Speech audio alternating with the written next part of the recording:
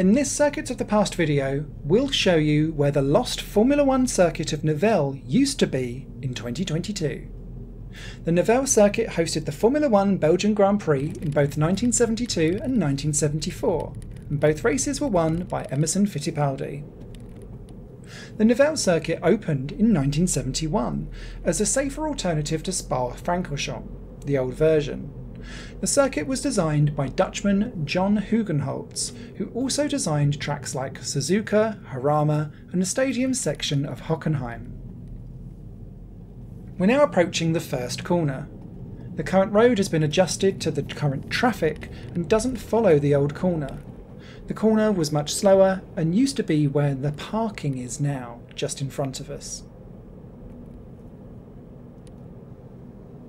Nivelles was far ahead of its time when it came to safety, and that, among a few other reasons, was the reason why the circuit actually went into the history books as being classed as a, quote, flat and boring track. But that's actually not very fair. The layout did contain elevation changes and some very challenging corner combinations. And that's exactly where we are now. This fast double right-hander was very challenging,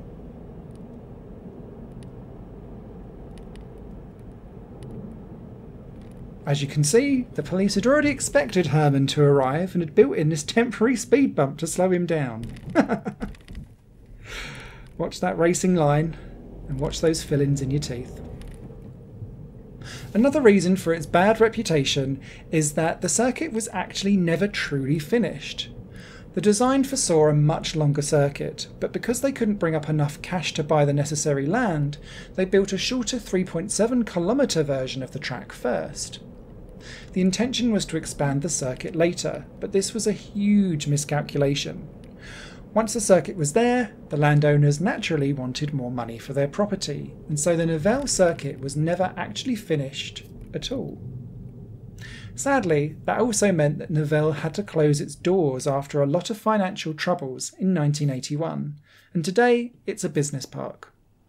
Parts of the roads follow the old track, but not here, so Herman continues by foot. Herman is the founder of the Circuits of the Past website and YouTube channel.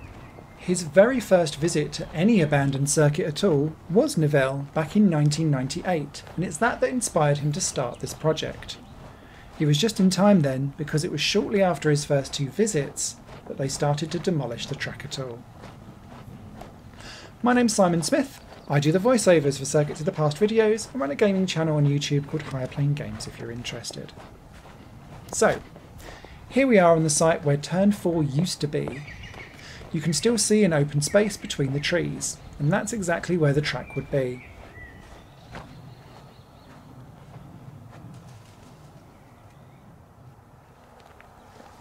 We're now on the other side of the trees. This is also where the Formula One track passed into the go-kart track. More about the kart track later. First Herman will show you where the short straight between turns 4 and 5 used to be.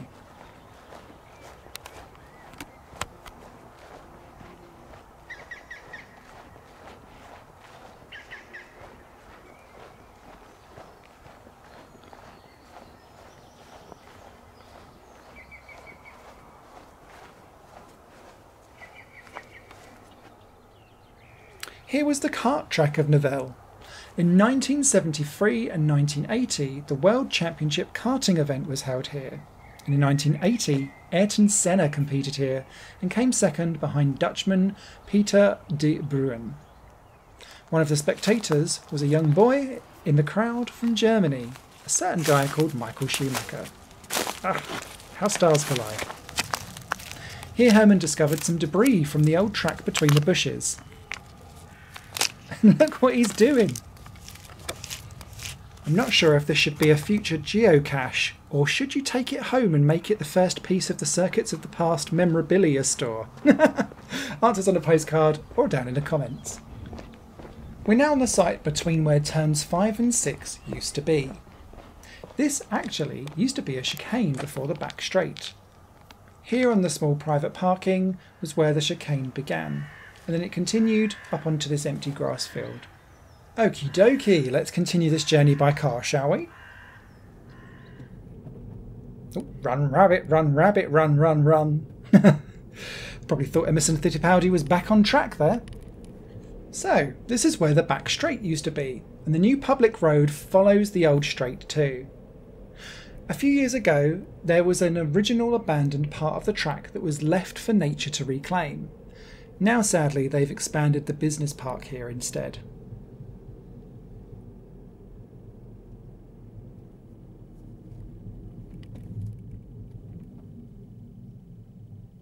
Once again, we can't go further by car. It's actually illegal to continue by foot. If you've seen other videos here before, that doesn't stop Herman.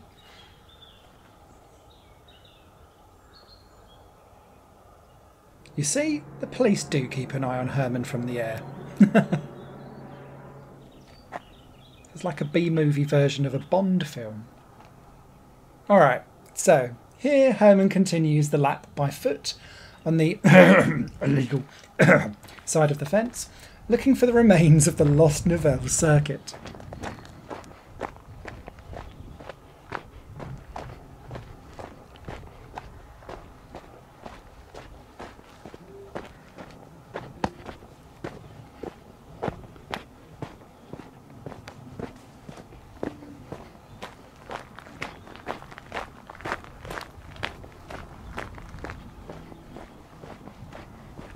This appears to be the remnants of the circuit, but the road surface has clearly already been removed.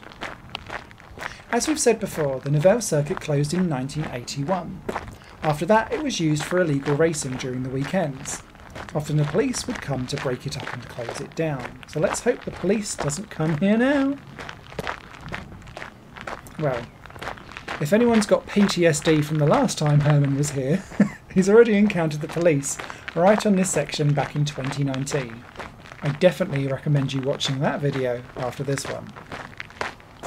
In 1998, the first work started here to start to change the abandoned track layout into a business park.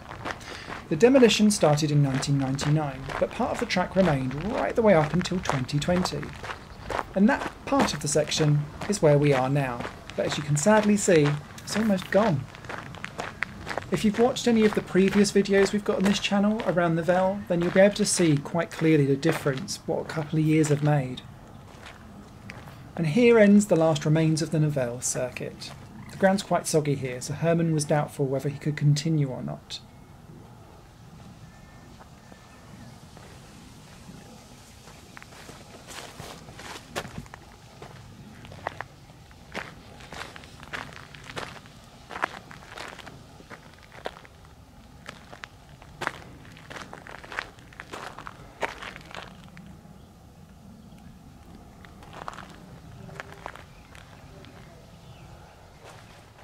Herman decided to cut off the swampy section and go through the bushes like true Indiana Jones. If the police comes, I'm sure there's a fridge that you can hide in.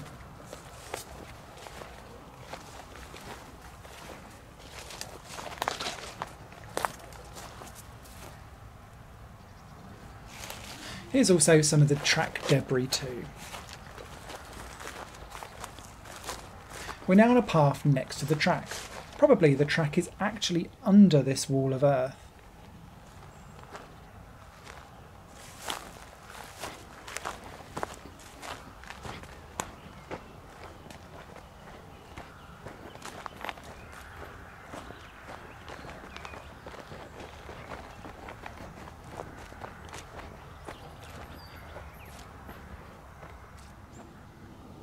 Sadly, there's not much to explore anymore, so Herman decides to head back we jump to the beginning of the old start finish straight. As you can see, there's works going on here too for the reconstruction. So this is quite close to the police station, a little bit too risky to enter. We continue our lap by car, back to where we started this lap. But we don't end the video just here before we've shown you where the pits and the start finish line used to be.